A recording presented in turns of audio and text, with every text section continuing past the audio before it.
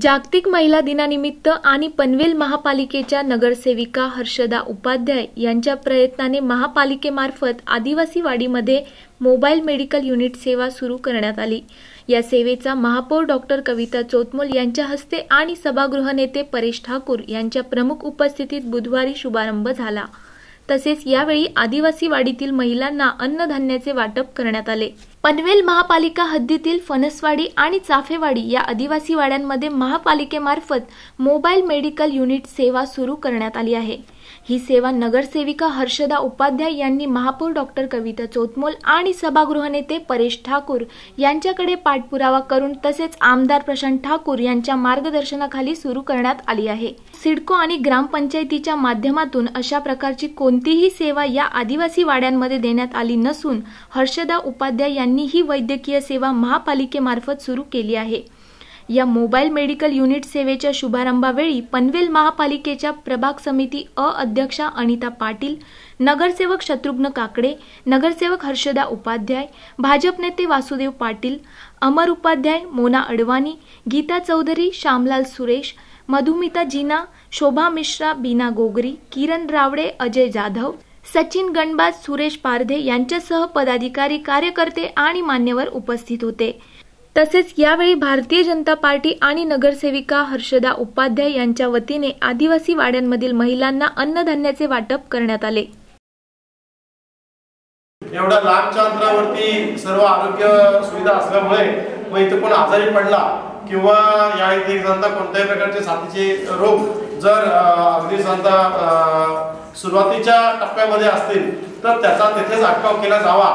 त्याच्याच बरोबर महानगरपालिकेतर्फे इतर आरोग्य सुविधा या दिल्या जाव्यात. त्याच्यासाठी जे प्रयत्न व्हायला हवेत तर त्याच्यामध्ये ह्या दोन्ही गावांचं भौगोलिक स्थान हे याच्यासाठी सांगता अडचणीचं ठरव होतं.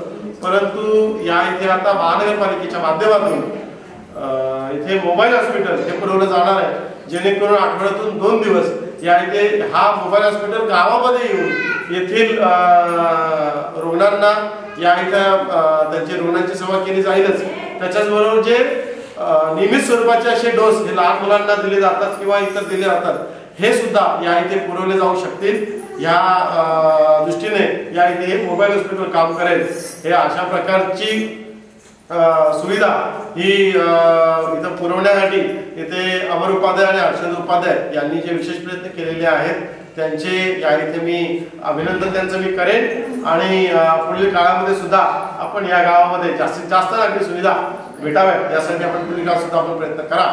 आपण जर बघितलं तर गावामध्ये कोणाला ताप आला तरी एखादी गोळी आपल्या घरात नसते खोकला झाला तरी मग एखाद्या वेळेला शनिवार रविवारी सुट्टी असेल तर दवाखाने बंद असतात. मग अशा वेळेला काय करता येईल? किंवा एखादी बाई गरोदर असेल तिला सातवा महिना चालू असेल मध्येच कळा चालू झाल्या तिलाही तुमच्या तिला कुठं दाखवावं किंवा काय करावं? मग दोन महिन्याच्या कालावधीमध्ये काय इलाज करावा? छोट्या छोट्या गोष्टी असतात.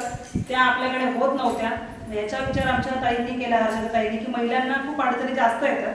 बाकीच्या वेळेला काय असतं खोकला आला आपण दोन दिवस अंगावर काढतो.